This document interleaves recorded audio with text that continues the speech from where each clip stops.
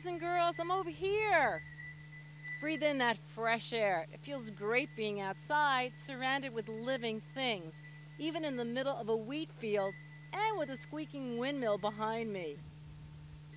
Welcome to my summer read along show. As you can see, I've just finished reading the first 100 pages of The Evolution of Calpurnia Tate by Jacqueline Kelly. Actually, I read to page 111. I got so wrapped up in the story, I couldn't help reading ahead. I'll try not to give anything away. I can't wait to tell you about all the neat things we're going to do today. First off, I'll be sharing some strategies to help you maneuver your way through this wonderful story. We'll take a look at some cool photos and show you how to bind your own field journal. But that's not all. We're taking a field trip. So kids, get your bug spray ready. All right, let's begin. What did you think of the first 100 pages? All I can say is, wow, there was just so much to think about. The yellow grasshopper, the bat story, the hummingbird incident, the Texas heat, and then the opossum that lived on the outer wall of Callie's bedroom, not to mention all of Callie's frustrations. And I'll confess, she stole my heart. But as I read the story, I came across many unfamiliar words. You probably did too. So I began to log my words, ideas, and phrases, sort of like a list of things to think about and maybe look up later on. Here's my list. And what I've done is created a code for myself.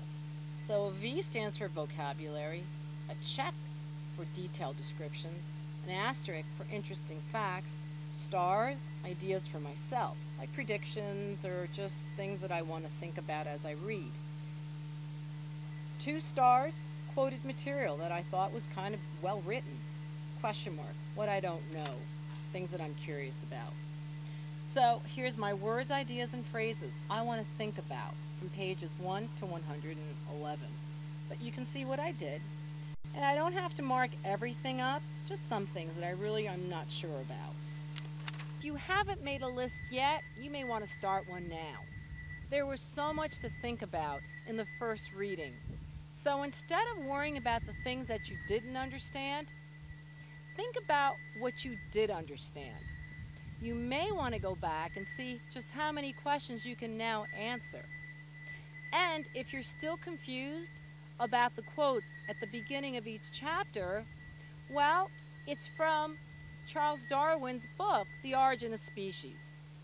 And our author, Jacqueline Kelly, uses it to sort of like give a preview of what's to come in her chapters. She tries to use that material to make a connection between the issue of living things in our world and the events in her story. A very clever writing style, I might add. And finally, was there anything that surprised you? What surprised me was that I thought I would dislike the grandfather, but it turned out he was one of my favorite characters next to Callie. Maybe you felt the same way. What makes the story so unique is that it is packed with scientific names. Here are a few photos of living things Callie encounters. Here's a picture of a cuttlefish. The grandfather referred to it as the beast in the jar. Now I can see why. The cuttlefish is actually a marine animal and is not considered a fish. Instead, it's a type of mollusk. This sea creature has no outer shell. It grows a special shell inside its body called a cuttle bone. They measure about 10 inches, and its eyes resemble the letter W, and most frequently referred to as the chameleon of the sea. Besides that, guess what? They're edible. Delicious. And I'm sure you've seen these pesky worms. In our story, Callie refers to them as web worms. We call them tent caterpillars. Clusters of them live in large silk webs anchored to tree branches. These worms are capable of defoliating entire forests. A hummingbird's nest is a rare find. It is often mistaken for a tree knot. The nests are tiny, measuring about one and a half inches, and inside the diameter is almost the size of a walnut shell. As you may imagine, the eggs are so tiny they could probably be compared to jelly beans. By the way, if you actually find a hummingbird's nest, you should leave it alone, as the bird may want to reuse its nesting materials. These migratory birds are protected by the Migratory Bird Treaty Act of 1918, so by all means look, but don't touch. Wolf spiders range between one and a half to two inches in length. Their colors are brown or gray. The mother typically carries the egg sac around with her. When the young spiderlings hatch, they climb aboard and stay on her back until they are almost grown. These spiders are not poisonous, though certain people may have a localized reaction to their bite. Damselflies are flying or aerial insects with slender, graceful bodies, mostly found in shallow and freshwater habitats. Their wings are delicate, filmy, and net-veined. One way to distinguish the damselfly from the dragonfly is by their thinner, needle-like abdomens. Their colors are stunning and vivid, while wing spans among the 2,600 damselfly species range from as little as under one inch to about seven and a half inches as in the giant damselfly found in tropical areas of Central and South America. The gossamer winged butterfly is the second largest family of butterflies with about 600 species worldwide. Their bright, delicate, shimmering wings consist of blue and copper hues, including hair streaks, sunbeams, and harvesters. And in general, they have a metallic gloss. Their size is about 5 centimeters, while in their larva stage, some of these butterflies depend on ants for protection. Carrion beetles are generally known as the burying beetle because they are associated with the disposal and recycling of dead small animals. These beneficial black or orange insects measure anywhere from one and a half inches to half an inch. They can move the body of a small dead animal to a suitable burying place. There, they take away the soil from under the animal and bury it. The beetles then lay their eggs on the body and their larvae feed on it. Speaking of which, what exactly did the grandfather do to send Minerva reeling from his library? Poor Harry, but it was probably for the best. Could it be that he showed her his beetle collection? Maybe she was grossed out by it all. I don't really know for sure, but that part was certainly very funny.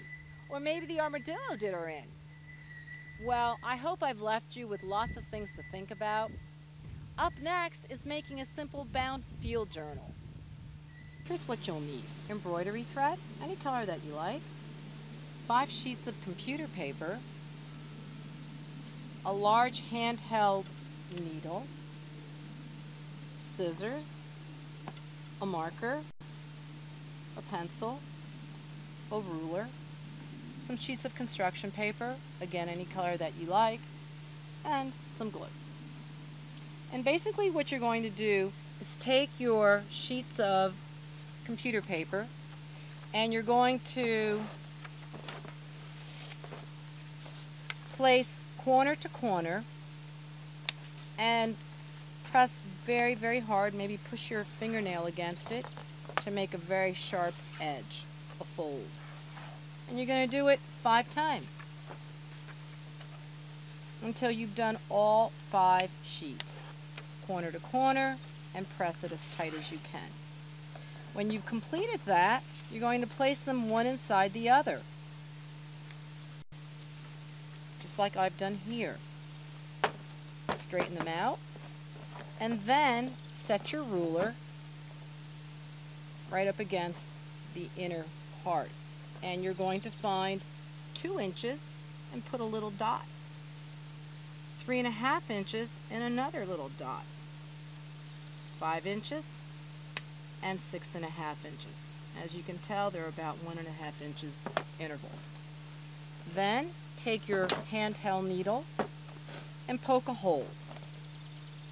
You can actually poke one hole, the holes, a sheet at a time, or you can gather them all at the same time and poke right through.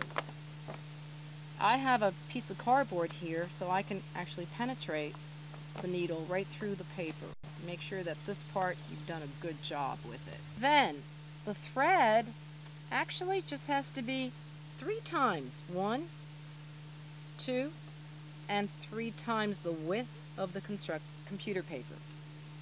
Make a knot at the end after you've threaded it, and now you're ready. Go to the back and place the needle in the back hole and come right up through. That's your first hole, like so. Then go down the second hole and out and pull it nice and tight, like so. And now back in on your third hole and place it right through. You may want to hold on to it because it does move around as you can see.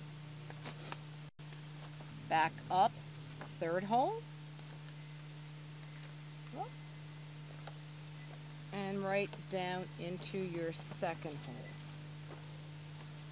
And then what you want to do is tie it off. So you can cut your thread. That was pretty easy. And then you can pull it really tightly. Okay. All right. And so you have your stitched journal. Take your favorite color, construction paper, same thing. You're going to fold it corner to corner, make a sharp edge, place it inside,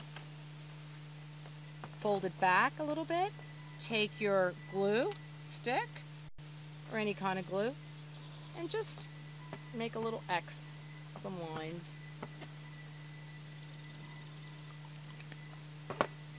And press it down.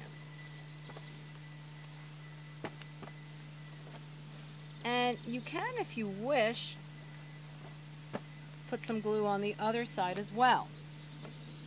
Sometimes I do, sometimes I don't.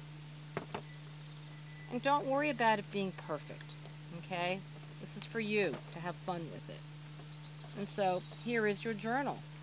Here is one. Here is another one that I've made.